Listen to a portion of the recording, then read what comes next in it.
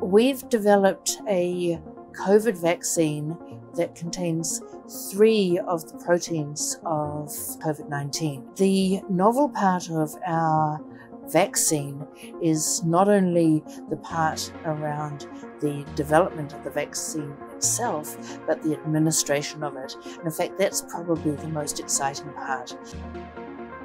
Instead of giving the vaccine by intramuscular injection, we are giving it by an aerosol inhalation directly into the lungs using a small jet nebulizer that is very comfortable to administer, very safe.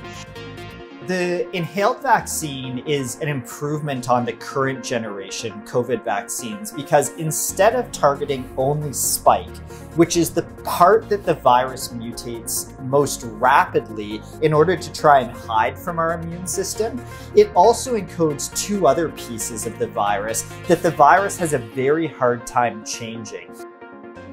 This inhaled version of the vaccine does something really special where it essentially puts the immune system in our lungs on high alert for everything.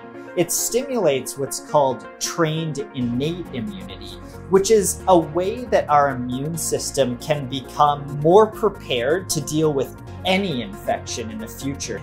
Developing vaccines is a slow process, but I think we've seen in COVID times that many of the challenges that sometimes used to take years can be addressed because of the urgency of the situation. And as well, really an exciting route, an exciting direction that uh, COVID vaccine science is taking, and, and we're able to contribute to some small part of it, but I think a very important part of it.